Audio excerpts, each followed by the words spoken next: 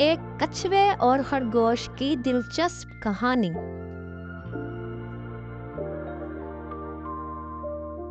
एक दफ़ा का ज़िक्र है कि एक कछुआ और खरगोश जंगल में रहते थे, वो अच्छे दोस्त थे।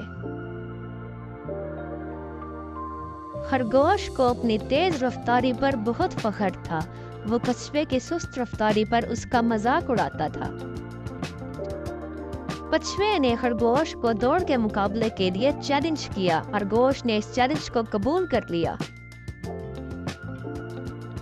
दौड़ शुरू हुई और कौवा रेफरी था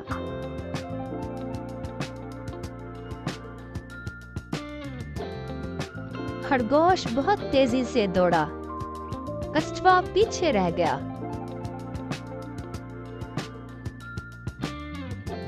खरगोश एक दरख्त के नीचे आराम करने के लिए रुक गया।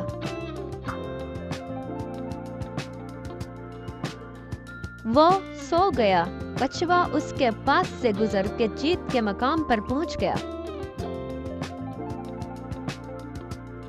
खरगोश उठा और जितनी तेज़ी से हो सका भागा। उसने देखा कि कछुआ पहले जीत के मकाम पर था। कछुए ने दौड़ जीत ली।